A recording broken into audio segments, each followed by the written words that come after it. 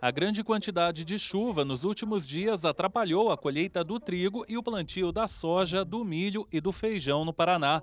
O excesso de umidade tem prejudicado a qualidade dos produtos. É o que aponta uma análise do Boletim Semanal de Conjuntura Agropecuária, referente ao período entre 7 e 14 de outubro. O estudo elaborado pelo Departamento de Economia Rural da Secretaria de Estado da Agricultura e do Abastecimento do Paraná mostra como a chuva prejudicou os produtores rurais.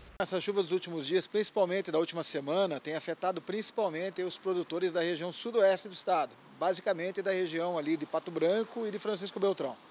Nessas regiões, é, nós temos aí relatos de perdas de lavoura, né? muitas erosões, muito caso aí de lavouras que foram perdidas justamente por esse volume excessivo de chuva em pouco tempo. Nas plantações de trigo, que ainda tem cerca de 50% da safra a ser colhida, as áreas consideradas ruins aumentaram de 4% para 7% em uma semana. Dos 500 mil hectares que precisam ser colhidos, 69% estão em boas condições. Na semana anterior, eram 73%. Nas plantações de milho e soja, o solo úmido atrapalha as máquinas agrícolas. Na produção de feijão, o excesso de umidade e o frio não ajudaram no desenvolvimento da produção. Os produtores a gente dá a orientação de, de, de, de irem até as prefeituras, né?